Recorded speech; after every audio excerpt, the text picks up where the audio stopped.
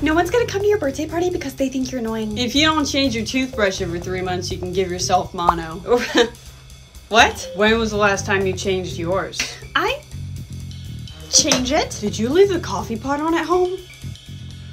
Oh my goodness, my mom is gonna kill me! Did you hear Jessica change to lunch tables because your pits stunk so bad? You're really good at this bullying thing, wow. Jessica, this dork just said that he liked you. That's so embarrassing. Now everybody knows that I like her.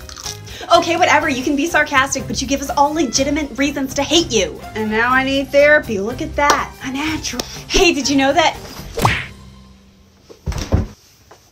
That felt nice.